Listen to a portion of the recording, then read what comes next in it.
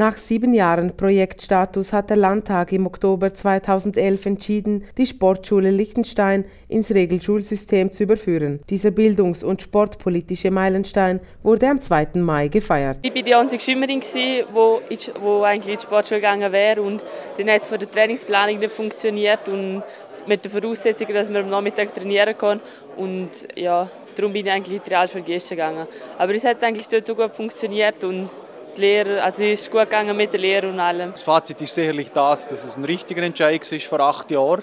Es hat ja dort eine Vorbereitungszeit gegeben und es hat eine Evaluation gegeben, es hat eine Bedarfsabklärung gegeben und dort ist ja zum Ausdruck, dass es einen grossen Bedarf gibt bei uns im Land für eine Sportschule. Und dort mal ist der richtige Entscheid zu sagen, jetzt die acht Jahre von Sportschule Liechtenstein. Wir sind jetzt im Vollausbau, das heißt von der ersten bis zur siebten Stufe haben wir überall Sportschüler äh, drin.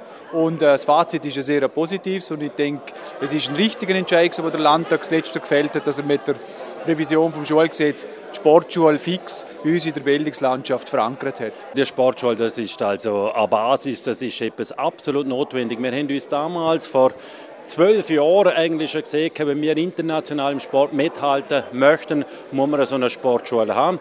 Wir haben Liechtenstein spezifische Lösung finden müssen und das hat super funktioniert und wie man so heute gehört hat, ist es so eine Erfolgsgeschichte. Das erste Mal war es ein Schulversuch und wenn so ein Versuch so an sich hat, wird natürlich zuerst einmal vier oder fünf Jahre äh, geschaut, wie, wie bewährt sich das, wie funktioniert das so eine Schule. Dann wird genau evaluiert, was sind Vorteile, was sind Nachteile, was ist nicht so gut, was läuft gut.